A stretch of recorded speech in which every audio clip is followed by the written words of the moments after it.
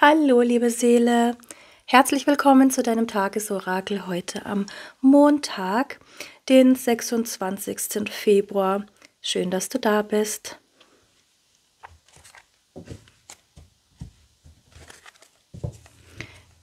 Welche Thematik darf ich für heute beleuchten? Für meine Zuschauerinnen und Zuschauer.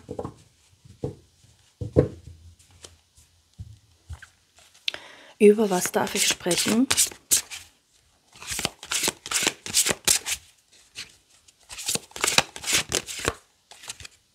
Wie passend. Wie passend. Im Wochenorakel hat sich auch ein kleines Bienchen gezeigt in den Karten. Da ging es, wie man immer so schön sagt, wortwörtlich um ein fleißiges Bienchen. Okay. Ähm, mit dieser Biene zeigt sich auch das Rad des Schicksals.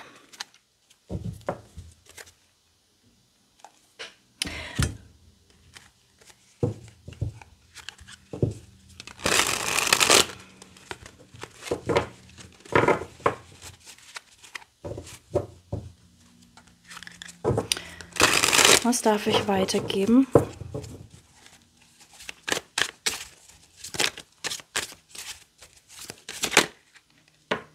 Ja, tatsächlich.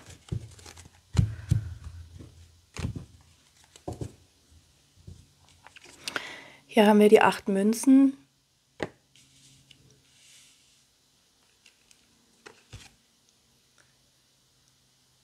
Sechs Stäbe, drei Kelche.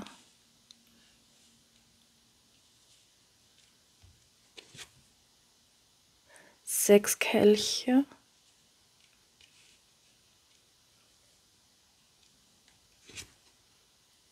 Vier Münzen. Und wow, die Sonne. Was für eine tolle Energie. Ich weiß gar nicht, wo ich anfangen soll mit, ähm, mit erzählen. Ähm, also das Rad des Schicksals hat hier seine volle Berechtigung. Ne? Dieses Orakel geht an alle fleißigen Bienchen da draußen.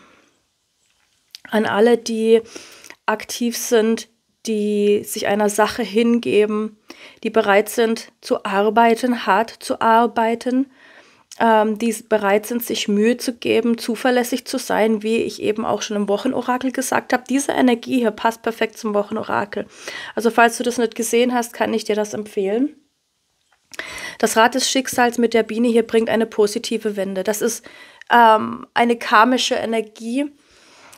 In dem Sinne, so nehme ich das wahr, alles, was du reinsteckst in eine Sache, all deine Hingabe, die wird belohnt werden. All das kommt zu dir zurück. Okay. Und ähm, das nicht erst in zehn Jahren, sondern ziemlich zeitnah, auch hier mit der Sonne. Das ist ein Happy End. Das ist ähm, Erfolg auf ganzer Linie. Das ist, du wirst glücklich sein mit dem, was du erreicht hast. Du wirst Anerkennung bekommen. Du wirst gesehen werden mit dem, was du machst. Also ähm, Menschen werden deine werden sehen, wie viel Hingabe du in eine Sache steckst oder gesteckt hast. Menschen werden sehen, was du dir aufgebaut hast. Menschen werden sehen, zu was du fähig bist, welches Talent du hast. Ähm, Menschen erkennen deine, äh, deine Werte in dem Sinne wie eine ich bringe jetzt wieder ein, ein, ein Business-Beispiel. Ja, natürlich hat nicht jeder ein Business.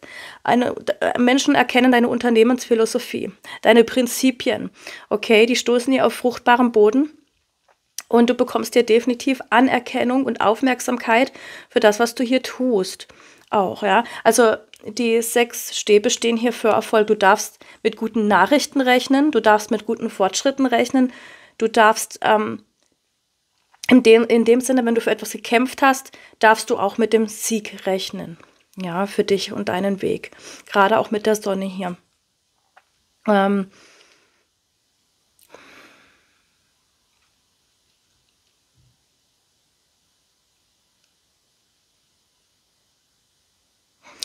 Es ist wie die geistige Welt oder das Universum, je nachdem, an welche höhere Macht du glaubst, wie du das nennst, die, die möchte dich dafür belohnen, für das, was du gibst. Ja. Mm. Und die acht Münzen zeigen hier etwas an, das von Qualität ist. Ja, das ist nicht Larifari oder auch wie ich im Wochenorakel gesagt habe, heute leiste ich mal was, heute bin ich mal da und morgen bin ich wieder nicht da. Ähm, ich bin quasi unzuverlässig oder das ist auch jemand, der etwas durchzieht. Ja, das ist nicht so. Mh,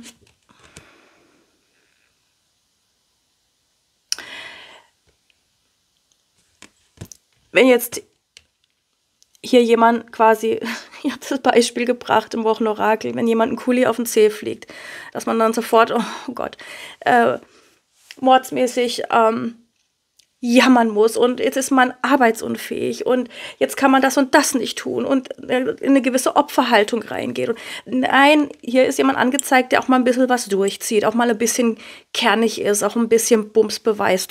so nenne ich es immer. Bums, genau. Ähm, also hier sehe ich eine sehr gute Entwicklung für all die, die sich hier wiedererkennen. Ja. Das ist doch jemand, der einfach mit Begeisterung an einer Sache dran ist. Deswegen ist es dieser Person ja auch wurscht, wenn ein Kuli auf dem Zeh fliegt. Ja. Ähm, oder wenn man, hier ist eine Schere, wenn man sich den Finger geschnitten hat bei der Handarbeit hier, dann, dann klebt man Pflaster drauf und macht weiter. Das ist die Energie, die ich hier reinbekomme. Ja. Also hier ist jemand auch ein bisschen zäh. Ne? Und das wird belohnt werden. Hier, äh, von der geistigen Welt. Ähm ja, auch die sechs Kelche sprechen dafür, dass hier jemand wirklich mit Herz und Hingabe dabei ist, dass man sich wohlfühlt mit der Aufgabe, die man hier hat, dass man sich wohlfühlt an seinem Arbeitsplatz.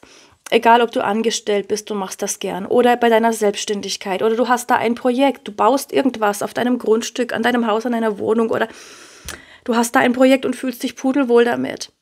Okay, dann nimmst du auch mal die ein oder andere Strapaze in Kauf. Klar, am Ende wirst du hier feiern können. Es bereitet dir halt auch unglaublich, unglaubliche Freude. Ja, Lebensfreude. Das erhebt deine, mm, das tut dir gut. Das erhebt deine Schwingung, das erhebt deine Stimmung. Es, es lädt dich auf. Hier ist etwas, diese Aufgabe lädt, lädt dich auf energetisch auch. Ne? Es tut dir unfassbar gut. Und ähm, das, was du, wie gesagt, da reinsteckst, wird auch erkannt von deinem Umfeld, von deinen Arbeitskollegen, von der Kundschaft, von den Menschen, die dich hier sehen, die dich hier wahrnehmen. Vielleicht stehst du auch in der Öffentlichkeit. Ähm, genau. Was ich hier mit den vier Münzen noch kurz anmerken möchte, das ist die Vergangenheit. Das ist so wie, ähm, das ist eher eine zurückhaltende Energie. Das ist wie, als hättest du hier eine Aufgabe, als wärst du mit etwas beschäftigt, das du dir am Anfang vielleicht nicht zugetraut hättest oder dir diesen großen Erfolg oder dieses, ja, diese Rückmeldung, äh, als hättest du dir das nicht zugetraut, dass da wirklich etwas zurückkommt. Ja, oder als wärst du erstmal zaghaft unterwegs gewesen in der Vergangenheit. Aber hier darfst du dir echt was zutrauen und das wird hier in großem Erfolg ähm, enden. Was heißt, ich will nicht enden sagen, weil hier endet nichts, hier geht etwas weiter.